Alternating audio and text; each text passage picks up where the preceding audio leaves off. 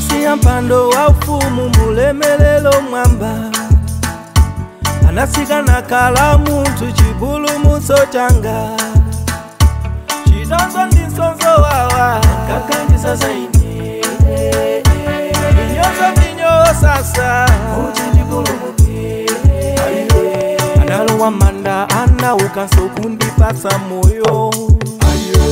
anakwela mwamba kwa tate a yesuwa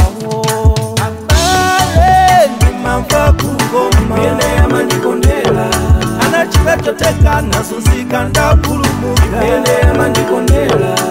ineyo ndima mva kukoma imenema ndikondela nachitatoteka nasusika ndapulumuka imenema ndikondela iye ndimayimba imba usankweza ikamavina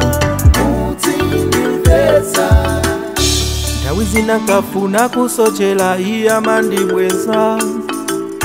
chibonga komasondodo yake zindilimbikisa kondiyaniragome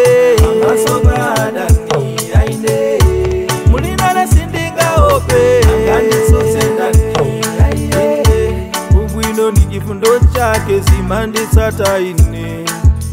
usiku wanga wonse ndidzakhala mu nyumba ya tati ndimamva kukomene yamandikondela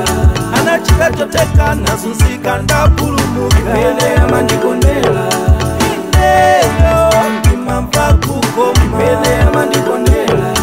anachita choteka nazunzika ndapulumukaene yamandikondela iye ndimaiye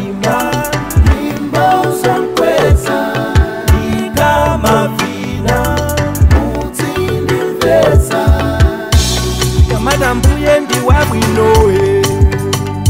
sindingonena imaona wandijogesa kosekose kugawa utengawo oh.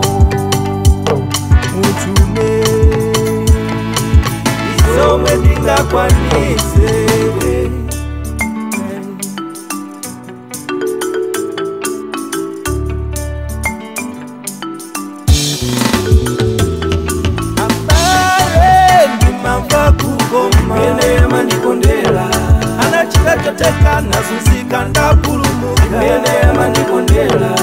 ineyo ndimamva kukoma yeneyama ndikondela nana chitatoteka nazuzika nda